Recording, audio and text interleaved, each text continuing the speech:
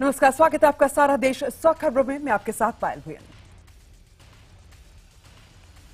तुर्की के अंत्याला में G twenty शिखर सम्मेलन का दूसरा दिन है। कल बैठक शुरू होने से पहले पेरिस हमले में मारे गए लोगों की याद में एक मिनट का मौन रखा गया। ब्रिक्स देशों के शिखर सम्मेलन में प्रधानमंत्री मोदी ने आतंकवाद पर हमला बोलते हुए कहा है कि आतंकवाद के खिलाफ पूरी दुनिया को एकजुट होना होगा। प्रधानमंत्री ने कहा कि हम पेरिस में आतंकी हमले की निंदा करते हैं और हम इसके खिलाफ एकजुट हैं। प्रधानमंत्री मोदी आज आतंकवाद और सुरक्षा का मुद्दा उठा सकते हैं। तुर्की में शिखर सम्मेलन के दौरान दक्षिण तुर्की में सीरियाई सीमा के नज़दीक आईएसएस फिदाइन ने खुद को उड़ा लिया, जिसके बाद प्रधानमंत्री मोदी की सुरक्षा बढ़ा दी गई है। प्रधानमंत्री की सुरक्षा में अब एसपीजी रॉ और आईबी के साथ साथ इसराइल की खुफिया एजेंसी मोसाद और ब्रिटेन की खुफिया एजेंसी एमआई फाइव के एजेंट्स भी मौजूद रहेंगे। तुर्की में किसी भी इमरजेंसी से निपटने के लिए स्पेशल प्लान बनाया गया है। प्रधानमंत्री मोदी की सिक्योरिटी के लिए करीब एक हज़ार देशी और विदेशी एजेंट्स तैनात हैं। पेरिस हमलों के विरोध में भारत के कई इलाकों में लोग सड़कों पर उतरे। रविवार को दिल्ली, कोलकाता समेत कई शहरों में कैंडल मार्च निकाला गया। भारत में कई जगहों पर मृत लोगों को श्रद्धांजलि दी गई। मुंबई के छत्रपति शिवाजी टर्मिनल को पूरी तरीके से फ्रांस के झंडे के रंग में रोशनी से रंग दिया गया। पेट्रोल और डीजल के दाम बीती रात से बढ़ा दिए गए हैं। पेट्रोल जहाँ 36 पैसे तो वहीं डीजल सतासी पैसे प्रति लीटर महँगा हो गया है। बढ़ोतरी के बाद दिल्ली में पेट्रोल इकसठ रुपए, छह पैसे प्रति लीटर तो वहीं डीजल छियालीस रुपए, अस्सी पैसे प्रति लीटर का हो गया है। मुंबई में आज डॉक्टर आधे दिन की हड़ताल पर हैं और इस दौरान मुंबई के डॉक्टर सुबह नौ बजे से लेकर दोपहर एक बजे तक ओपीडी में मरीजों का इलाज नहीं करेंगे। डॉक्टर्स ने अपनी छह मांगों को लेकर आधे दिन के लिए शांतिपूर्ण तरीके से विरोध जताने का ऐलान किया है। हड़ताल को इंडियन मेडिकल एसोसिएशन का समर्थन हासिल है। डॉक्टर छह मांगों को लेकर विरोध कर रहे हैं। डॉक्टर चाहते हैं कि उन्हें अस्पताल में इलाज के दौरान पूरी तरीके से सुरक्षा मुहैया कराई जाए। बिहार चुनाव के बाद अब शत्रुघ्न सिन्हा ने कहा है कि वो बिहार चुनाव पर अब कुछ नहीं बोलेंगे। शत्रुघ्न सिन्हा ने कहा है कि अगर सच बोलना बगावत है तो समझो मैं बागी हूँ। केंद्रीय मंत्री वेंकैया नायडू ने कहा है कि जिन लोगों को आय 10 लाख रुपए सालाने से अधिक है, सरकार उन्हें गैस सब्सिडी नहीं देने, जाने के विचार कर रही है। नायडू ने कहा है कि अब तक 30 लाख लोग एलपीजी सब्सिडी छोड़ चुके हैं जिसे गरीबी जनता को सब्सिडी दी जाएगी। केंद्रीय मंत्री वेंकैया नायडू ने कहा है कि पेट्रोलियम मंत्री धर्मेंद्र प्रधान ने उन्हें बताया कि सरकार को कोई अवैध गैस कनेक्शन के बारे में पता चला है। संघ विचारक एमजी वैद्य ने नाथुराम गोडसे का बलिदान दिवस मनाए जाने को गलत ठहराया है। वैद्य का कहना है कि गोडसे एक हत्यारा था, हत्यारा रहेगा। एमजी वैद्य ने कहा है कि गांधी जी देश के लिए आदरणीय है और उनकी हत्या करने वाला का महिमामंडन सही नहीं है। हिंदू महासभा की तरफ़ से नाथुराम गोडसे की पुण्यतिथि को बलिदान दिवस के रूप में मना रही है और इस मौके पर हिंदू महासभा कई कार्यक्रम भी आयोजित उसने किया। हिंदू महासभा ने गोडसे को राष्ट्रभक्त ठहराया है और वहीं कांग्रेस सीपीएम समेत तमाम राजनीतिक दल बलिदान दिवस का विरोध कर रहे हैं। तिब्बती धर्मगुरु दलाई लामा के बिहार चुनाव पर दिए गए बयान के बाद एक बार फिर राजनीति गर्मा गई है। बीजेपी ने दलाई लामा के बयान पर सवाल खड़े कर दिए हैं। कांग्रेस और जेडीयू ने दलाई लामा के बयान पर बीजेपी पर निशाना साधा है। दलाई लामा के ने कहा था कि बिहार चुनाव ने दिखा दिया है कि भारत की बड़ी आबादी धार्मिक सहिष्णुता के में विश्वास रखती है। दलाई लामा ने कहा था कि राजनीति सुनियोजित तरीके से जनता की सेवा करने के लिए होनी चाहिए, न कि अव्यवस्था फैलाने के लिए। आरोपी के विरोध में हरियाणा के अंबाला में पूर्व सैनिकों ने विरोध प्रदर्शन किया और इस दौरान पूर्व सैनिकों ने मोटरसाइकिल रैली भी निकाली। ऐसे अधिक संपत्ति मामले में हिमाचल प्रदेश के मुख्यमंत्री वीरभद्र सिंह अब नई मुसीबत में फंस गए हैं। सीबीआई के बाद अब ईडी ने उनके और उनकी पत्नी प्रतिभा सिंह के खिलाफ मनी लॉन्ड्रिंग का केस दर्ज कर लिया है। आरोप है कि साल 2009 से साल 2011 तक केंद्र में इस्पात मंत्री रहते हुए वीरभद्र ने 6.3 करोड़ रुपए अज्ञात स्रोतों से कमाए थे। रविवार से नायक हायक की रस्म के साथ ही छठ पर्व की शुरुआत हो गई है और इस दौरान लोगों ने नदी में डुबकी लगाई। खन्ना में श्रद्धालु दिन भर बिना जल ग्रहण किए उपवास रखने के बाद सूर्यास्त होने पर पूजा करेंगे। उसके बाद दूध और गुड़ से खीर का प्रसाद बनाकर उसे सिर्फ़ एक बार खाएँगे। और जब तक चाँद नज़र नहीं आएगा, तब तक ही श्रद्धालु जल ग्रहण कर सकेंगे। उसके बाद से करीब 36 घंटे का निरहार व्रत शुरू हो जाएगा। पहले मौसम की मार झेल रहे तमिलनाडु के लोगों की मुश्किलें और बढ़ सकती हैं। राज्य में अगले तीन दिनों तक भारी बारिश की चेतावनी जारी कर दी गई है। बारिश के चलते एहतियातन मछुआरों को समुद्र तट से दूर रखने की हिदायत दी गई है। अब तक मूसलाधार बारिश से पचपन से अधिक लोगों की मौत हो चुकी है। तमिलनाडु में पिछले एक हफ़्ते से हो रही भारी बारिश से हालात बेहद खराब है। सड़कें पानी में डूब गई हैं। आज बाबा रामदेव के पतंजलि आयुर्वेदिक लिमिटेड आटा नूडल्स लॉन्च किया जाएगा। ये नूडल्स पतंजलि के रिटेल आउटलेट और बिग बाज़ार में मिलेगा। पतंजलि का दावा है कि आयुर्वेद और फ़ूड साइंस के मेल से बने ये नूडल्स बेहद पौष्टिक हैं। एनसीपी नेता नवाब मलिक ने महाराष्ट्र के मंत्री के मैगी के खिलाफ सुप्रीम कोर्ट जाने पर सवाल खड़े कर दिया उन्होंने कहा है कि कहीं गिरीश आप्टे रामदेव के इशारे पर तो ऐसा नहीं कर रहे हैं। वीएचपी के संरक्षक अशोक सिंघल की वेदांता में इलाज उनका चल रहा है, जहाँ उनकी हालत अभी स्थिर बताई जा रही है। गुड़गांव के वेदांता अस्पताल में सिंघल के हालचाल जानने के लिए वरिष्ठ नेता पहुँचे। हिमाचल प्रदेश के कुल्लू के कोटला गाँव में भयानक आग लग गई। आग इतनी तेज़ी से फैली कि पूरा गाँव उसकी चपेट में आ गया। गाँव के करीब 80 घर और साथ ही तीन मंदिर भी आग की भेंट चढ़ गए।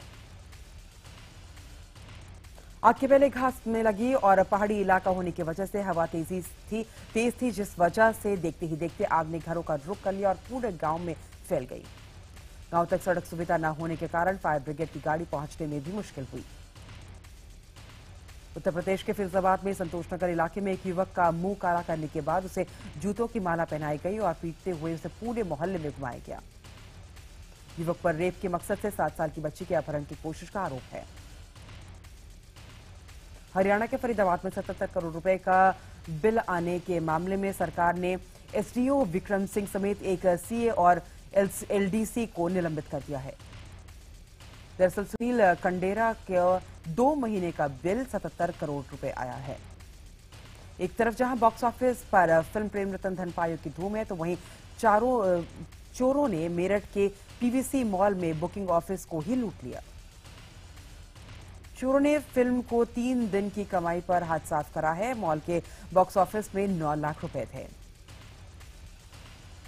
मॉल के जब सीसीटीवी कैमरे खंगाले गए तो ज़्यादातर कैमरे भी बंद मिले। मॉल प्रशासन के चोरों को पकड़वाने के लिए इक्यावन हज़ार का इनाम देने का ऐलान किया है। गोपालगंज में ट्रेन की चपेट में आने के बाद एक युवक के दोनों हाथ और एक पैर कट गया है। बताया जा रहा है कि लूट की नियत से जहर खुरानों ने उसे नशीली पदार्थ खिला दिया था। रेलवे पुलिस काफ़ी देर बाद पीड़ित प्रकाश के पास पहुँची और तब तक उसकी काफ़ी खून उसका बह चुका था। गंभीर हालत में उसका इलाज अस्पताल में जारी है। नोएडा के सेक्टर उन्नीस की पुलिस चौकी से थोड़ी दूर कुछ लोगों ने सरेआम प्रेमी युगल की जमकर धुनाई की। बताया जा रहा है कि सुनील नाम के युवक का अपने भाई की साली से प्रेम संबंध था। जिस दौरान वो उसके साथ घर में था, तब स्थानीय लोग उन्हें घसीटते हुए बाहर ले गए।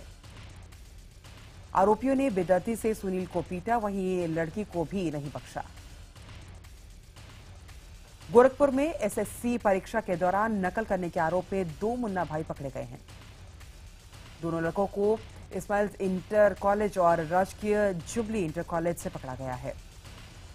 दरअसल रविवार को इंटर लेवल की एसएससी परीक्षा के दौरान मोहित और निशांत की हरकतें संदिग्ध लगी। तलाशी लेने पर दोनों के पास से इलेक्ट्रिक डिवाइस मिले हैं। उत्तर प्रदेश के अमरोहा में नकल कराने के लिए हाईटेक गैंग का खुलासा हुआ है। स्वैट टीम को के मुताबिक आरोपियों ने कुछ समय पहले लेखपाल भर्ती परीक्षा में भी नकल करवाने की कोशिश की थी। उत्तर प्रदेश के कासगंज ज़िले में भीमसेन गाँव में भीषण आग लगने से करीब दर्जन भर जलकर खाक हो गए हैं। उत्तर प्रदेश के मुजफ्फरनगर में छोटी सी बात पर हुई बहस ने सांप्रदायिक रूप ले लिया है। दोनों समुदाय में जमकर पथराव व फायरिंग हुई।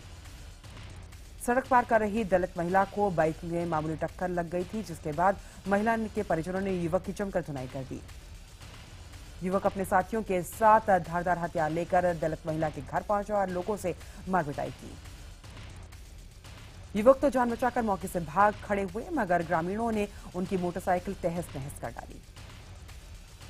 दस लोगों को हिरासत में ले लिया गया है। तनाव को देखते हुए इलाके में पीएससी और भारी पुलिस फोर्स तैनात कर दी गई है। लखनऊ के तालकटोरा थाने में हुई सनसनीखेज लूट मामले में पुलिस ने दो आरोपियों को गिरफ़्तार किया है और उनके पास लूट के जेवरात भी बरामद किए हैं। पुलिस के मुताबिक लुटेरों में एक सचिन सक्सेना बेहतरीन क्रिकेटर है और रेलवे समेत कई संस्थानों के लिए खेल चुका है। पुलिस के मुताबिक पकड़ा गया दूसरा आरोपी सचिन गुप्ता अपनी प्रेमिका के ऊपर अंधाधुंध पैसा लुटाने के चलते गुनाह की दुनिया में कूदा। लखनऊ में लूट के बाद दोनों आरोपी खटीमा में एक व्यापारी को लूटने के लिए पहुँचे थे, लेकिन उनका पीछा करते हुए पुलिस पहुँच गई और उन्हें दबोच लिया। समझ ज़िले में पुलिस ने करीब 700 लोगों को से करीब एक करोड़ की ठगी को अंजाम देने वाले शातिर ठग अखिलेश को गिरफ़्तार किया है। पुलिस के मुताबिक अखिलेश ने सैकड़ों लोगों का खाता पोस्ट ऑफ़िस में खुलवाया, फिर विश्वास हासिल कर पोस्ट ऑफ़िस में पैसे जमा कराने के नाम पर पैसे लेता रहा, लेकिन जमा नहीं कराए। सर्विलांस की मदद से पुलिस ने उसे दबोच लिया। पुलिस के मुताबिक उसकी फर्जीवाड़े में पोस्ट ऑफ़िस के कुछ कर्मचारी भी शामिल हैं। शंकराचार्य ग्रुप ऑफ़ कॉलेज के डायरेक्टर अभिषेक मिश्रा की अपहरण कुत्ती और उलझती जा रही है। अभिषेक के लापता होने के बाद उनके मोबाइल की लोकेशन और कुम्हारी टोल प्लाजा में सीसीटीवी कैमरे में उनकी तस्वीरें एक महिला के साथ कैद हुई हैं। अभिषेक अपनी कार से कॉलेज से निकले थे और सवा तीन घंटे बाद टोल प्लाजा पहुँचे। कार में उनके साथ एक महिला बैठी हुई थी, जिसने टोल में भुगतान भी किया। टोल प्लाजा कॉलेज से करीब 20 किलोमीटर की दूरी पर है, लेकिन अभिषेक टोल प्लाजा पहुँचने में तकरीबन साढ़े तीन घंटे उन्होंने लगाए। आपको बता दें कि बीते हफ़्ते मंगलवार की देर रात को अभिषेक की कार और चाबी रायपुर के जीआरपी रोड पर एक सुनसान इलाके से बरामद हुई है। उन्नाव में पुरानी रंजिश के चलते एक युवक की कुल्हाड़ी से काटकर उसकी हत्या कर दी गई। हत्या के बाद शव रखकर तकरीबन तीन घंटे तक सड़क पर पड़ी रही, लेकिन किसी ने खबर नहीं हुई किसी को।